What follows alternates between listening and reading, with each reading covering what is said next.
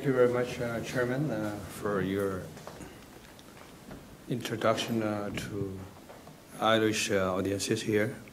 It's uh, my uh, pleasure to be here. I was hosted by Korean Embassy to explain about South Korea's policy toward North Korea or unification issues.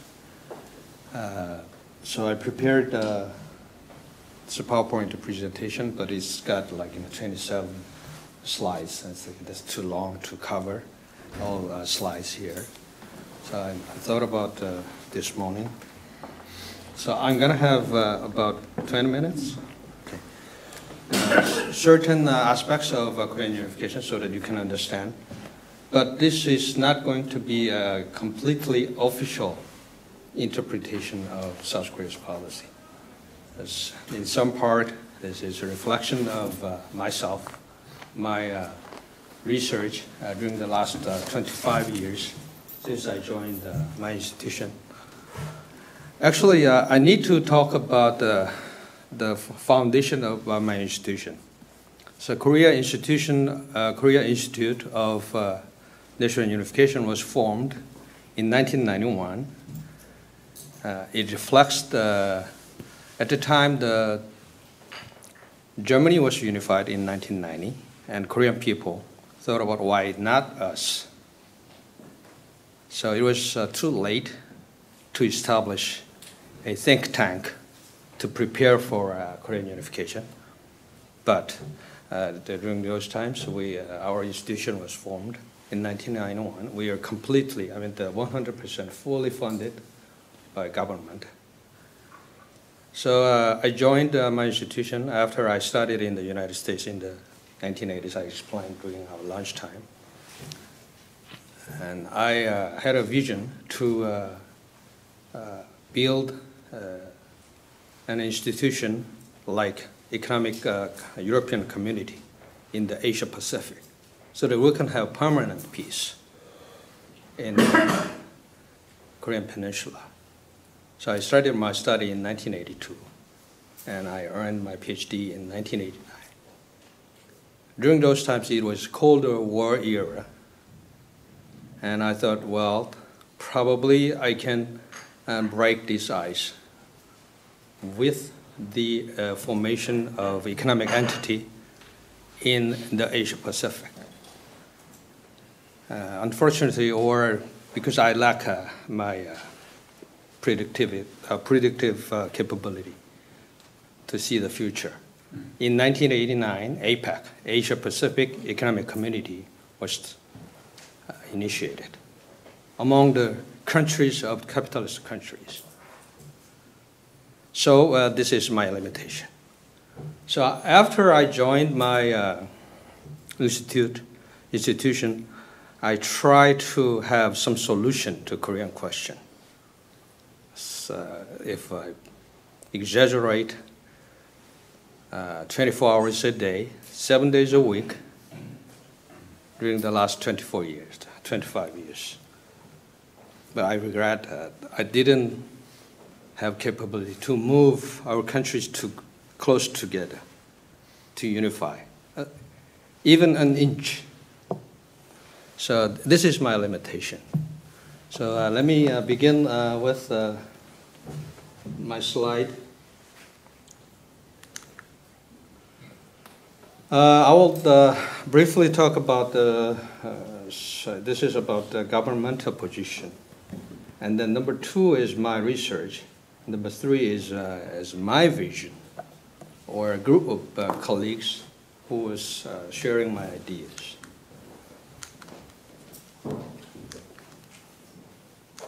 Oops.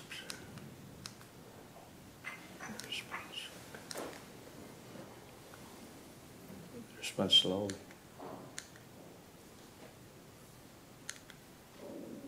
Okay. So, come here. it responds slowly, sometimes fast. Okay. As everybody knows, South, uh, the Korean Peninsula was divided in 1945. At the time, China and Russia. And uh, now in 2015, still we are surrounded by four powers.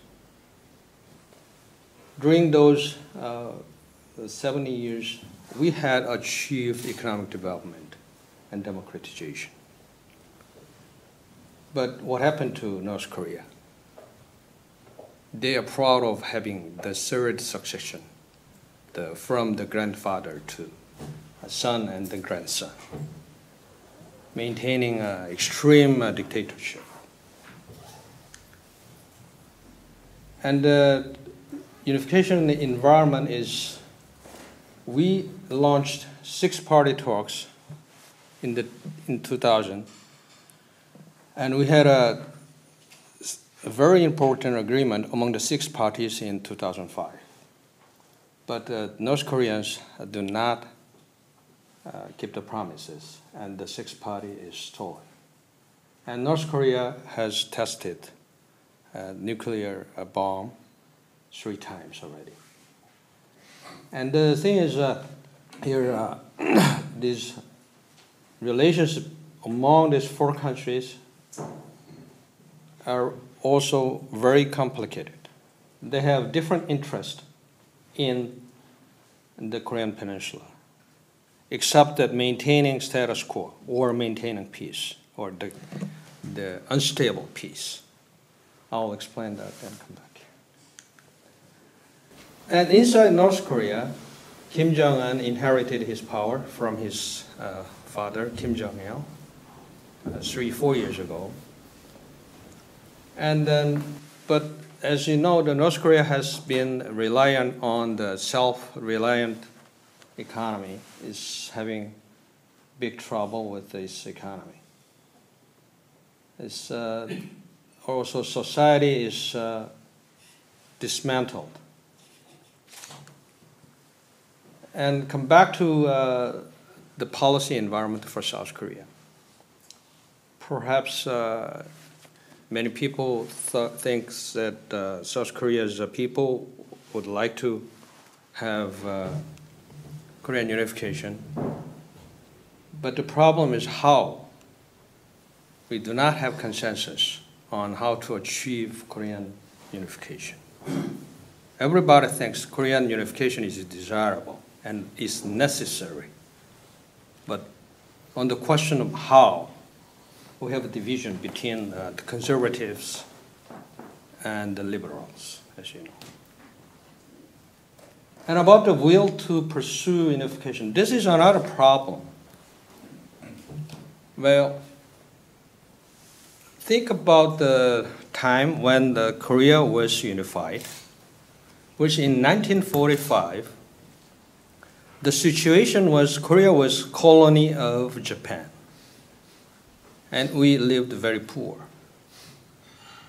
And uh, we are divided because South Korea, I mean the Korean Peninsula, was uh, the colony of Japan. All those uh, generations who lived, who were born before 1945, when that population occupies majority of South Korean people, it was rather easy to pursue the Korean unification. Because for them, it is uh, it's, uh, almost like a no question. But for those people who have not experienced unified Korea, but the, if you look at the demography of uh, South Korea, surprisingly, those people who were born before 1945 it says uh, it's only about uh, less than 10%. Is that the population, the percentage of the population is decreasing. But if you think of, uh, you have, you, those people are less than 10% of the population. So for those people, the younger generation, they do not know what the unified Korea was. My generation, I, I, heard, I, was, I just heard from my father, talked about the unified Korea, how it looked. So uh, for the younger generation, they do not know exactly why. And so this is another problem for uh, South Korea. And uh, whether do we really have capability to change North Korean behavior so that we can unify? That's debatable. So this is why the South Korean president, current President Park Geun-hye, came up with the idea saying that unification bonanza. So in 2013, when she came into the office, presidential office, well, she found out that uh, there's a widespread apathy toward uh, unification among Korean public. It's surprising because I'm I'm running uh, the like regular survey towards Korean people. When you are asked whether it is it necessary to uh, pursue unification, almost everybody says yes. Then when you are asked how much money would you put into, put how, how much effort would you uh, make, then their, their answer is 100,000 won, which is like a hundred dollars per year, which is very small money for the unification. So uh, uh, President Park, President Park suggested uh, this unification bonanza idea. So it was uh, quite a success. She drew attention from the Korean public and mass media, and also from the international community. So she uh, launched the, the, Unification Preparation Committee in 2014, and they are doing an, research, extensive research on how to unify South, South and North Korea. And I, I don't know whether we can actually have this kind of opportunity. Uh, another actually interaction and exchanges and cooperation during this uh, uh, Park Geun-hye administration. This for not certain but uh, their, the South Korea's policy is. The fundamental difference between uh, previous administration's unification policy and uh, the current administration policy is our attitude towards uh, North Korea or towards uh, unification policy is more proactive.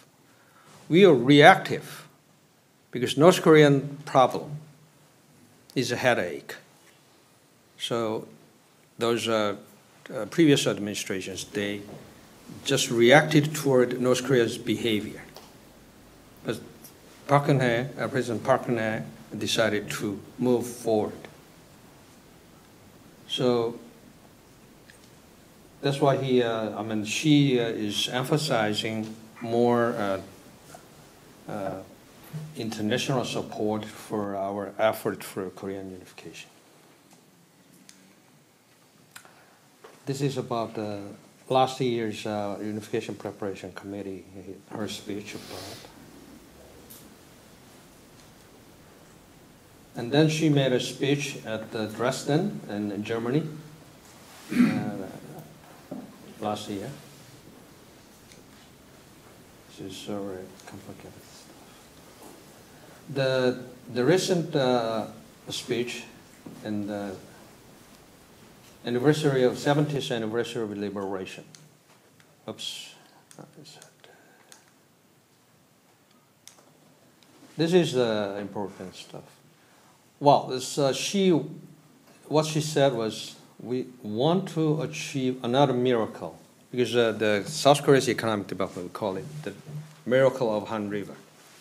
Another miracle on the Korean Peninsula, and also mentioned about 100th anniversary probably we can realize many pundits say, well, we're going to have unification today or last year, 2015, and, but you know, that's kind of nonsense. It's going to take time.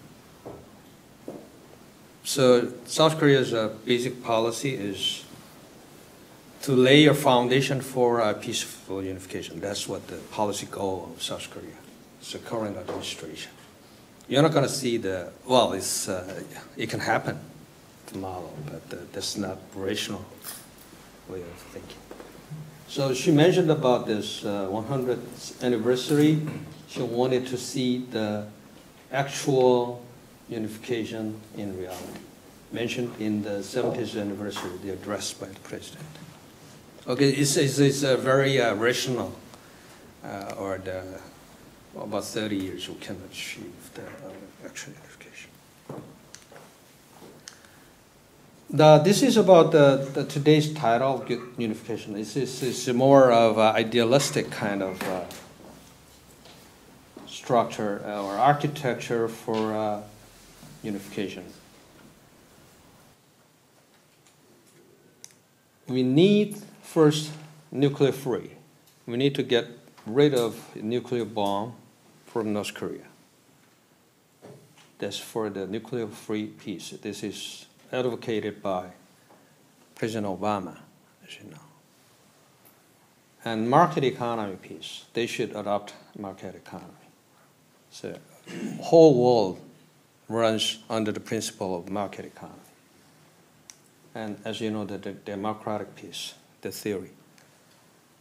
Those uh, regimes who have run under the principle of democracy do not fight this democratic peace. And market economy, those uh, the less prone to go to war, those uh, capitalist countries.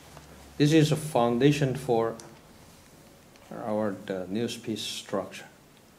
And then uh, we can have uh, the tasks for unification preparation period and unification process period and no mistake period. I will explain this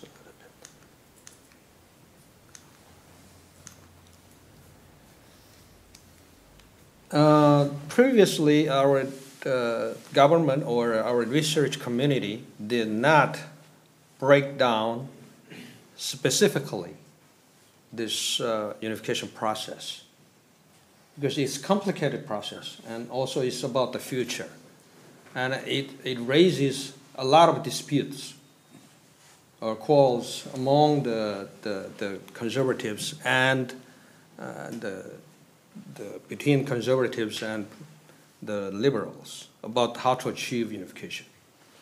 So a group of scholars, uh, including myself, thought about how to do away with this uh, unnecessary debate. So this is a uh, kind of a, well, the generalized model. If you were to unify certain country, one party to the other. So uh, focus more on the temporal dimension. This is where I call the, the put it more simply and sort of uh, help uh, your understanding. This is current, or the, the time where we were divided. We started to make an effort to unify at the time when we are divided. You can say that. Or you can, you can think of uh, the current. And this is the time when the two parties decided to go for unification more seriously. So I call it uh, engagement. And this is definitely marriage, unification declaration. So you need, you need at least this kind of uh, period, time period. Seriously, two parties agreed to go for actual unification. That's necessary. Unless that kind of uh, measure is taken, it's impossible. I uh, researched onto almost all cases of unification, uh, unification cases, Vietnam or the Yemenis and uh, Germany's and other uh, research, I mean, the, all other cases. We need this period. This is very critical. And then after the unification, we'll have system integration. Here comes the, we, uh, we're gonna learn a lot from the integration effort made uh, during the, the process of uh, having integration, European integration from uh, EC to EU and so on. Then I see the, the whole process here is uh, uh, nation building. So that's why I called the subtitle A New Korea. I do not like to use the word reunification because I would say, like you know, those people who are mm, older than 70, 80 years old who lived under, like I said before, under the unified Korea, probably except, probably including those people. Nobody inside South Korea want to go back to the situation where we were unified. We are very poor. We are a colony of Japan. We do not want to go back. We're going to have to move forward. So I do not want to use the reunification. So it's, it's going to be, it should be a new unification. Well, this is about, so, so many people ask me about uh, how we can enter into that kind of a situation to actually pursue a, unification. So this is a very uh, complicated uh, process, but I don't have. So all these uh, thoughts are shared my uh, colleagues in, in, in Korea. We uh, previously we had uh, this kind of simple idea about the unification because the division itself was made by international parties in 1945 against our will because we had no power. So they, international parties, they decided our fate to become divided. So that South Korea had been one for a long time. So it is divided, became two. So that's a wrong situation. So we have to correct the wrong. The fundamental approach should come from the politics, political areas. We should make political deal with the other party. So this is, uh, I call it a one-dimensional approach. And the current administration came up with another idea. Well, this is about politics we have our own problem. South Korea has problems, as all the other capitalist countries have. South Korean population is aging. So demographic, demography is very, you know, so we need another uh, economic uh, vitality to uh, revitalize our economy. So the current administration started to think about what's good, what kind of benefits we can get from the, the unification. So put more emphasis on economics. Basically, with the integration with uh, North Korea, we can have access uh, to the Asian continent. we can have uh, land route and you know, other things. And also for some certain uh, job creation for the younger generation. Especially, the, as you know, the younger generation, they are more concerned about their job, as, as happened in the Europe. So that's a big problem for our country. So with unification, probably we can have another dynamic opportunity to provide us a breakthrough of our own problem. This is uh, the fundamental philosophy behind the current administration's policy for proactive forward for uh, uh, unification.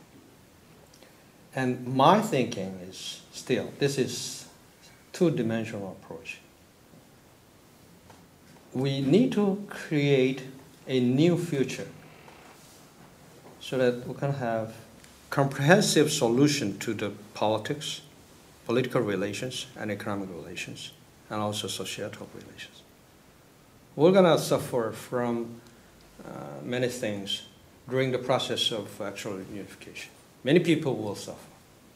So we need to provide certain answers, or at least we need to be prepared for that kind of thing. This is, I call it the three-dimensional approach, and somebody call it a version 3.0. So this does not mean this one-dimensional approach is not important. It should be a foundation for the second, third. And this thinking is shared by older generations, those people in the 60s and 70s, and they primarily, I mean, they think you know the, the unification issue is primarily is a political issue, and this is shared. Second dimensional approach is shared by my generation in the 40s and 50s. They are more practical to to get another opportunity to revive our own economy. And this is for our next generation, those two, 20s and 30s. I'm trying to teach them to get the opportunity in the future.